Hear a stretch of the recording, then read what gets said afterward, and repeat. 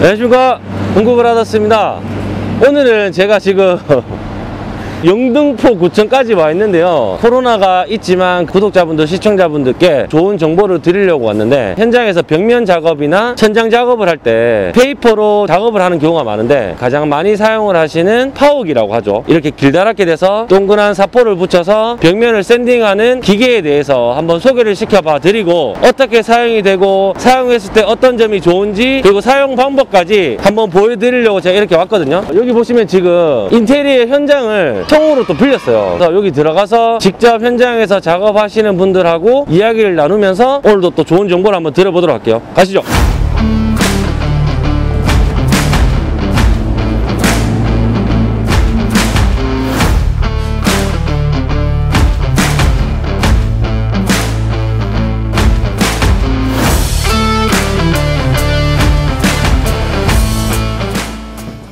자, 이제 제가 이렇게 직접 현장에 내려왔는데요. 와, 여기 보시면 현장 속에 와 있다는 게 확실히 느껴지는데, 일단 오늘은 두 분과 함께 지금 영상을 찍을 거고요. 한 분씩 소개를 한번 해주시겠습니까? 안녕하십니까. 예, 저희는 답십리 공구상가에 위치하고 있는 턱테크라고 하는 업체입니다. 어, 저희 업체는 지금 이제 벽면이나 천장에 프레, 페인팅을 할 수 있는 그 기계, airless 기계를 전문적으로 판매하고 수리하는 업체이긴 하지만 고객님들의 좀 편의성을 위해서 페인팅 하기 위한 전 단계인 퍼티 작업을 하기 위한 기기라든가 물품들, 비품들을 다 구비를 해서 쉽게 원스톱으로 구매해서 사용하실 수 있는 장을 마련을 해 놨습니다. 그리고 저희가 오늘 이렇게 벽면 sander를 소개하는 자리에 나온 이유 중에 하나가 메타보 한국 에이전트에서 메타보 long neck sander를 네. 독점적으로 공급받아서 판매하고 있는 업체이기 때문에 이 자리에 나오게 된 것입니다. 안녕하세요. 인테리어 디자인 업체 올데이 크래프트의 실장 김현철이라고 합니다. 여기 지금 어떻게 모여 있냐면요. 인테리어 현장 속에서 작업들이 많을 텐데, 이 벽면 그리고 천장에 페인트나 이런 것들을 뿌리기 위한 공구가 airless. 뿌리기 전에 하는 작업이 울퉁불퉁한 면을 빠데나 이런 것들로 메꾸고 벽면을 편편하게 하기 위해서는 또 sanding기가 필요한데, 예. 진짜 실사용자와 그리고 그 제품들을 또 취급하시는 분 두 분을 모셔서 오늘 한번 이제 long neck sander에 대한 이야기를 제가 제대로 한번 보여드리려고 하니까요. 벽면이나 천장 작업을 하시려고 생각하시는 분들 그리고 long neck sander에 대해서 평소에 궁금해 하셨던 분들 께 조금이나 또 도움이 됐으면 좋겠고요. 제가 사용되어지는 모습도 보여드리면서 한번 말씀을 드려볼게요. 퍼티를 잡아놓은 상태에서 이제 wall sander를 사용을 해서 저희가 이제 sanding 작업을 할 건데요. 여기 현장 같은 경우는 급하게 공정을 맞춰 놓다 보니까 3퍼티 상태이고요. 면은 저희가 아무래도 잡다 보니까 일반적으로 하시던 분들보다는 면이 좀 많이 고른 상태예요. 면이 이제 고르지 않은 상태들을 보실 수 있죠. 이 상태의 면들을 1차적으로 wall sander로 저희가 잡게 되는데요. 메타보에 같이 나오는 wall sander용 사포입니다. 이게 120방이고요. 120방 사포를 먼저 사용을 해서 저희가 이 가장 큰 두꺼운 것들을 일단 1차적으로 먼저 날려보겠습니다. 작업을 하시기 전에는 분진 마스크를 꼭 착용을 하고 하시는 게 좋고요. 가능하시면 이런 형태의 구글도 사용을 하시면 좋습니다. 이제 시작해 보겠습니다.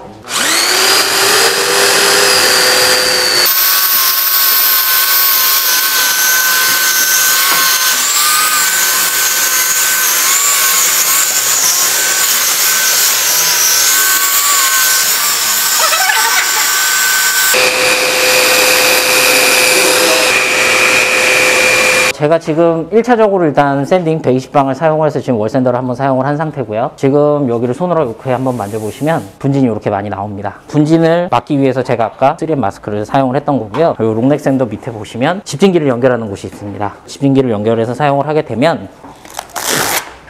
요 앞면에 있는 타공 구멍들을 통해서 분진들이 이렇게 빨려 들어가게 됩니다. 요 분진이 바깥의 작업장에서 날리는 게 아니라 요 기계를 통해서 넥센더 여기를 통해서 집진기로 쭉 빨려서 집진기가 집진을 해주게 됩니다. 제가 지금 요 롱넥 샌더에다가 현재 망사 빼바를 이제 부착을 한 상태입니다. 이제 재질이 망사로 되어 있고요. 요 같은 경우는 아까 사용했던 메타보 사포보다는 집진이 훨씬 더 잘 되죠. 그래서 저 아무리용으로 해서 2차 샌딩을 할 때는 이 제품을 사용을 하고 있습니다. 요거는 제가 지금 바로 또 활용을 해서 2차 샌딩을 한번 해보겠습니다.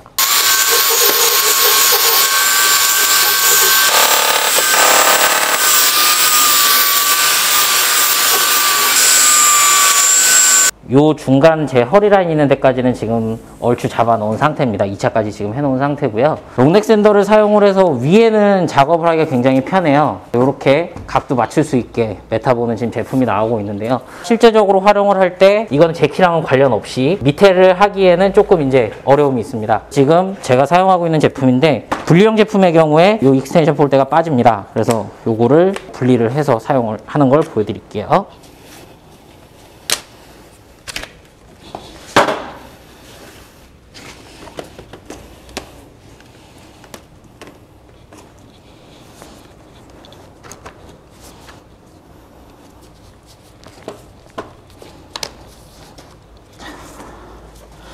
이렇게 하면 중간 폴대를 제거한 분리형의 형태가 되었습니다. 요 밑에를 다시 또 샌딩을 한번 해볼게요.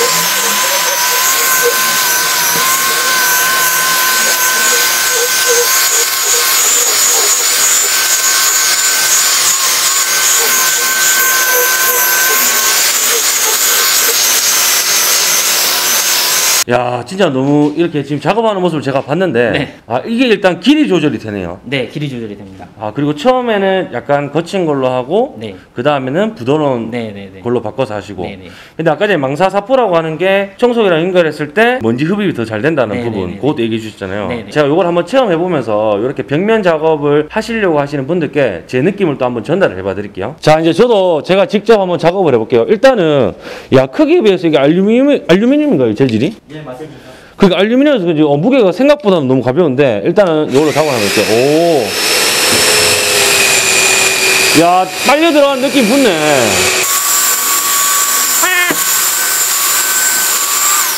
아니 이게 생각보다 지름이 너무 커가지고 이 지금 면이 넓더라도 작업할 때 굉장히 편리할 것 같은데 그리고 지금 보시면 작동을 시키니까 여기 불이 들어오네요 불이 여기 보시면 여기 그래서 지금 여기 내가 작업하려고 하는 공간이 비춰지는 게 또 괜찮은 것 같고 이렇게 됐을 때 벽면으로 좀 붙으려고 하는 느낌을 많이 받아요. 그러니까 청소기를 연결해 놓으니까 여기에 딱 붙어서 먼지가 계속 집중되는 느낌이거든요. 와 사용을 해봤는데 측면 작업을 하시는 분들께서 넓은 면을 하셔야 된다거나 높은 곳을 작업하실 때 사용하시면 정말 괜찮겠다는 생각이 들고 그리고 바닥면도 이제 이게 길이 조절이 되다 보니까 짧게 사용하시면 꼭 손그라인더처럼 그치만 머리는 커서 작업량을 넓게 하기에 용이한 이런 느낌을 받는데 일단 측면 작업은 여기서 마치고 천장 작업도 이게 가능하다고 하니까 천장 작업도 하면서 또 말씀 한번 드려볼게요. 저희가 벽에 이어서 이제 천장 이제 wall sanding 작업하는 거를 보여드릴 건데요. 천장도 마찬가지로 보입니다. 그래서 여기를 지금 이제 저희가 wall sander를 사용을 해서 sanding하는 거를 보여드릴 겁니다. 120방과 망사사포를 사용해서 이제 두 번 정도 나눠서 이제 저희가 작업을 할 거고요. 굵은 라인들을 날린 상태에서 저희가 한번 또 보도록 하겠습니다.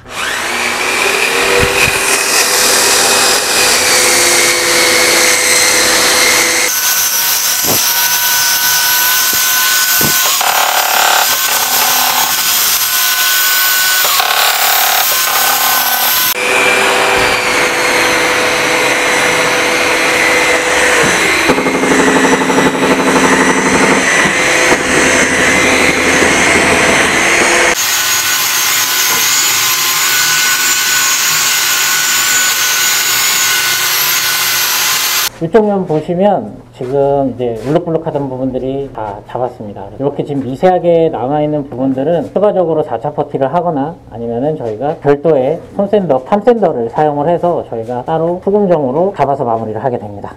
저쪽 천장은 사실 2m 정도밖에 되지를 않아요. 근데 지금 똑같은 현장인데 여기나 앞에가 천장이 좀 청고가 한 3,100 정도 되는 곳입니다. 3m 10이죠. 요런 데 같은 경우에 저희가 이제 사용을 하게 되면 요 형태가 지금 1m 60이거든요.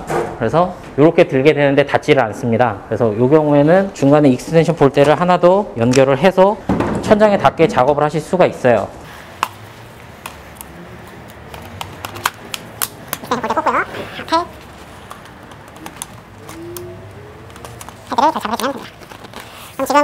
두 개가 지금 장착이 된 형태고요. 기계만 wall sander만 따졌을 때 2100, 2m 10 정도 됩니다. 이 상태에서 작업을 하게 되면 천장이 제가 아까 3m 10이라 그랬거든요. 이렇게 해서 작업을 하실 수 있습니다. 분리형 장점인 거고요. 분리형을 쓰실 때 이렇게 해서 사용을 하셔도 된다. 저 같은 경우는 이렇게 extension pole대를 다 연결을 하지는 않고요. 기본형 형태에서 발에 싣는 족장이 따로 있습니다. 그래서 족장을 활용을 해서 이제 올라가는 형태에서 저희가 이제 기본형으로 저희가 사용을 하고 있습니다. 이거는 제가 힘이 약해서 그럴 수도 있고요. extension pole대를 끼면 저는 오히려 더 불편해서 저는 그렇게 해서 작업을 주로 하고 있습니다. 아, 자 이제 진짜 오늘 너무 이렇게 수고를 해주셨는데요. 사용되는 모습을 보니까 extension을 꼽으니까 지금 3m 10까지까지 올라가는데 네. 쓰지 않는다고 하셨잖아요. 네. 그 이유에 대해서 조금 더 상세하게 이야기를 해주실 게 있을까요? 어, 우선은 이제 개인적인 편차가 있는데요. 네. 저 같은 경우에는 이제 신장이 큰 사이즈가 아니기 때문에 했을 때 제약되는 부분들이 정확도? 있어요. 예, 네. 정확도도 있고 아. 그리고 이제 extension pole대를 사용해서 길게 썼을 때 일반적인 석고 drywall 형태의 저희가 석고 천장을 사용을 했을 때 사용하는 단어 중에 파먹는다는 단어를 사용을 합니다. 아, 파지는. 네, 네. 그래서 퍼티를 잡아놓은 면이 저희가 곱게 하기 위해서 만드는 작업인데 네. 그걸 사실 파먹 으면 사실 큰 의미가 아, 없거든요. 다시 이쪽으로 손을 가야 되는 거기 되니까. 때문에 최대한 파먹지 않는 그리고 저희가 안정적으로 작업을 하기 위해서 음. 될수 있으면 좀 무리가 되는 길이다라고 생각을 하면 저희는 하지 않는 거고요. 오히려 지금 저희는 속도를 조금 더 빨리 내기 위해서 이 pole대를 사용한 것보다는 발에 족장을 신어서 좀 키를 올린 상태에서 음, 기본형 사이즈로. 네 네. 그래서 저희가 지금 사실 잡았을 때 이렇게 잡는 형태가 가장 좋거든요. 그래서 네. 이렇게 해서 헤드 부분도 사실 지지를 해줘야 돼요. 아, 손- 아, 손으로. 네, 이렇게 해서 왔다 갔다 하면서 이제 사용을 하게 되는데 저희가 이제 extension pole대가 이제 하나가 더 붙게 되면 힘을 주는데 사실 문제가 생기죠. 지렛대처럼 이제 앞에 헤드가 멀리 거- 길어져 버리면 힘을 살짝만 줘도 금방금방 파먹게 됩니다. 일반적으로 이제 wall sander를 가지고 뭔가 추가적인 작업을 하실 분들 같은 경우는 extension pole대가 하나 더 들어가서 높은 곳도 그냥 닿을 수 있다는 건 굉장히 큰 장점이긴 합니다. 이 청소기가 계속 알아서 또 다다다다다 네. 쓰는데 네. 이 청소기도 쓰시는 이유가 있으세요 그러면? 메타보를 일단 세트로 맞춰서 가지고 있는 이유 중에 하나가 자동 털이 기능이거든요. 메타보 같은 경우는 시작하면서 털고 시작을 해서 사실 이제 요 앞에 흡입력이 약해지는 시점이 되면 청소기가 알아서 이제 털게 됩니다. 털어요, 네. 털. 저 개인적으로는 사용을 했을 때 이 기계가 굉장히 빨리빨리 잘 받아주는 게 있었기 때문에 저는 이제 메타보를 사용을 하는 거고요. 그리고 제가 집진기를 타사 것도 여러 개 가지고 있지만 long neck sander가 됐던 wall sander가 됐던 사용을 해봤을 때 이 집진기에 집진하는 집진력이 가장 좋았습니다. 아 실내에서 썼을 네. 때 먼지가 나는 이런 그렇죠. 정도를 말씀하시는 네? 그래서 분진이 사실 많이 날린다는 거는 페인트 도장 공정 자체가 거의 마감 공정 중에 하나이기 때문에 청소를 다시 해야 되는 부분들이 아. 생기죠. 도장을 하게 되면은 모든 부분들을 다 보양을 해서 다 비닐로 감싸놓게 됩니다. 네. 그래서 그 상태에서 저희가 도장 공정을 하게 되는 건데 어. 분진이 막 여기저기로 날려버리면 물론 뭐 블로어를 사용을 한다거나 컴프레셔 이제 압을 사용해서 네. 뭐 날리거나 하긴 하지만 한계가 있습니다. 그래서 airless를 쐈을 때 그 압에 의해 서 분진이 확 퍼지면 또 힘들게 작업해 놓은 부분들이 또 망가지거든요. 그래서 분진이 많이 날리지 않는 음. 형태의 sanding이 가장 중요합니다. 흡입력이 일반적인 저희가 갖고 있는 집진기들 중에는 가장 이게 흡입력이 좋습니다. 망사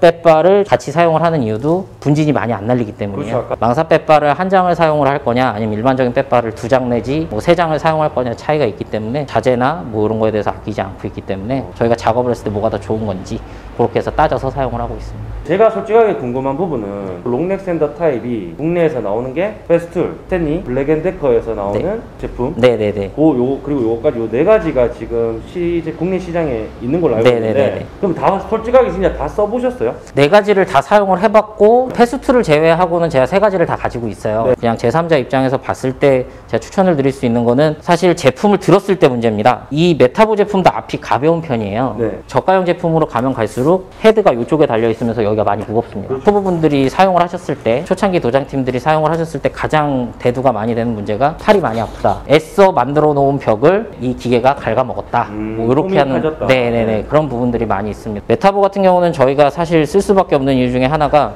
무게 중심이 요 밑으로 와 있어요. 이게 한 손으로 들었을 때도 이렇게가 되거든요. 어. 근데 지금 일반적으로 적- 중저가형 제품들을 봤을 때 한 손으로 이렇게 하기에는 조금 이제 힘든 부분들이 그렇죠. 있어요. 무게가 일로 쏠려버리 앞쪽으로 쏠려버리기 때문에 그런 부분들을 감안을 해서 제품을 고르신다면 천장을 쓰신다라고 하면 사실 고가형의 제품을 사용을 하시는 게 당연히 이제 작업성이 좋을 수밖에 없고요. 천장. 그렇죠. 예. 1800 이하의 높이를 사용을 하신다라고 하면 중저가형 제품을 쓰시더라도 크게 무조건 이게 좋습니다. 그렇죠. 뭐 이게 그런 건 나쁩니다라고는 없죠. 할수 예. 없거든요. 그래서 집진기가 사실 제일 중요합니다. 어떤 wall sander든지 분진이 엄청나게 나오거든요. 그렇죠, 예. 일반적인 분들이 사실 나는 내가 벽을 페인트를 칠하겠다. 그래서 내가 퍼티를 하고 sanding을 하겠다라고 해서 이것만 사시는 경우들이 또 많아요. 항상 집진기를 같이 세트로 사용을 하셔야 된다는 거. 조금 저희가 불편하더라도 방독으로 분진되는 마스크를 사용을 하고 airless를 할 때는 사실 저희가 그걸 필터를 바꿔서 이제 방독으로 사용을 예, 하거든요. 예. 그렇게 해서 사용을 꼭 하셔야 됩니다. 저는 오히려 집진기를 조금 더더 좋은 걸로 꼭 하셔야 된다라고 꼭 말씀드리고 싶고 집진기도 사실 너무 저렴한 걸 사시면 자동 털이 기능이 없습니다. wall sanding을 했을 때 사실 요만큼의 면적만 하게 되면 사실 흡입력이 절반 이하로 네,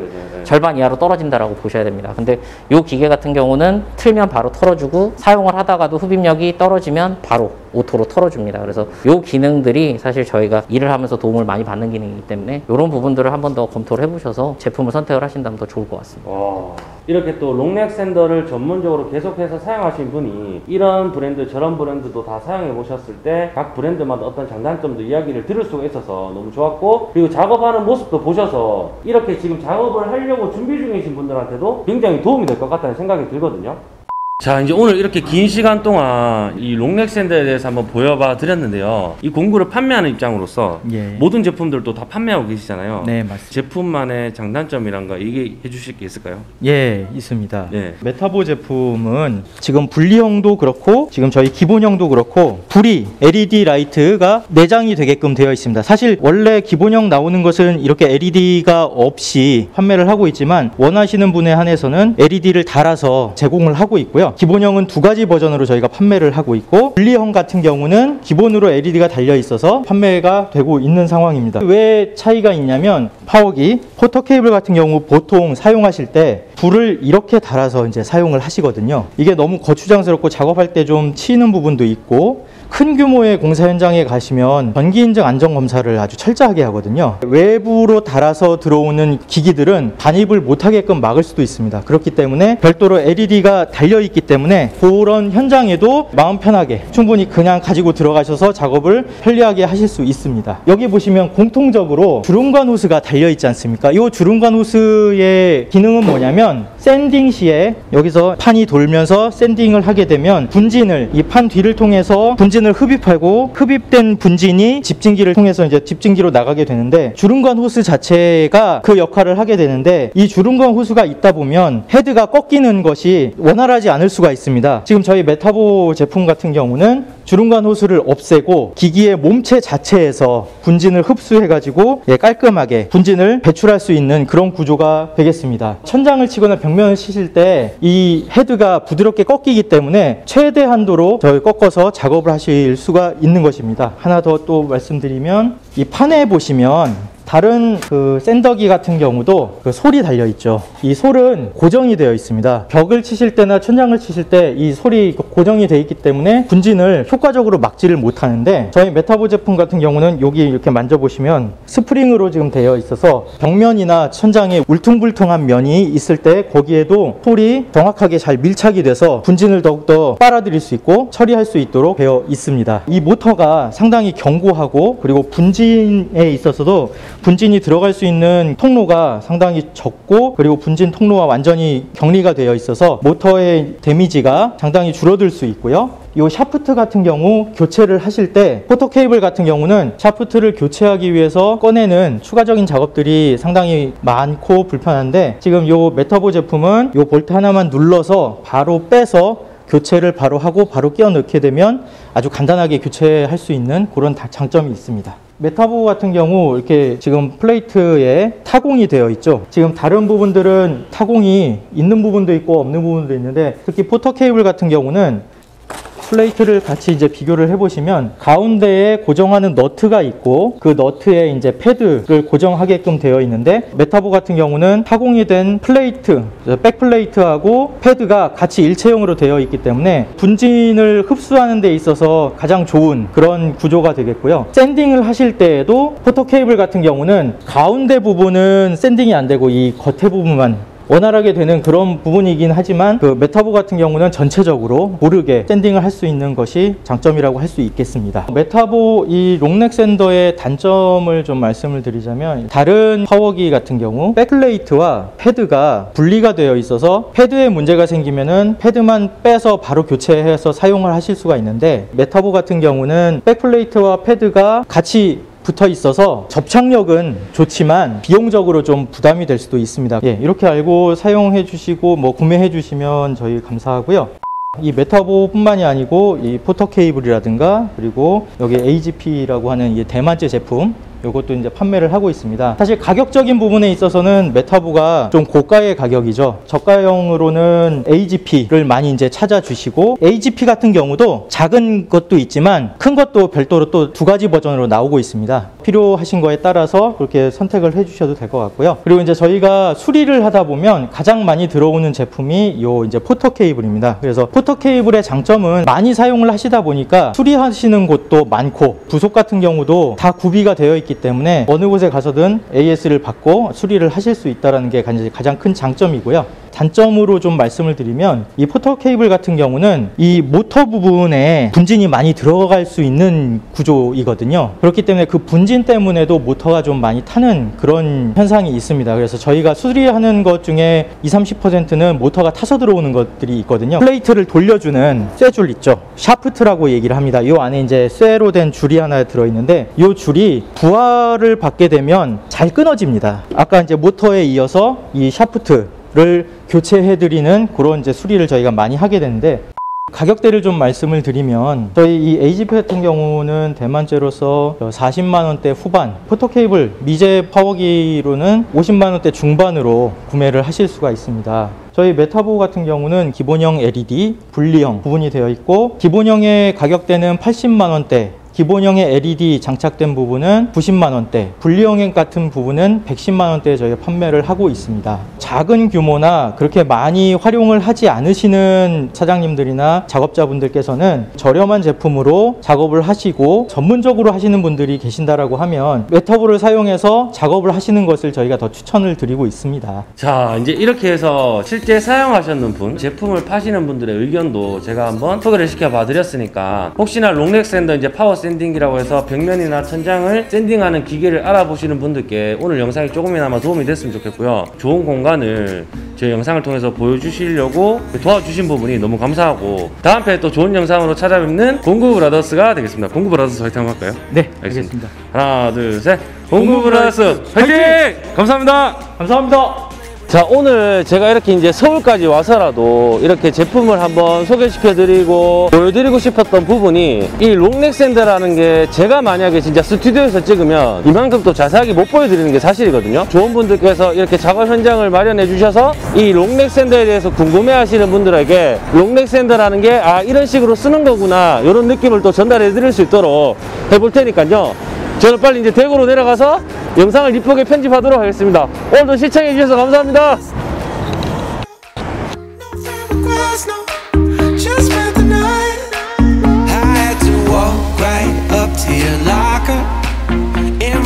said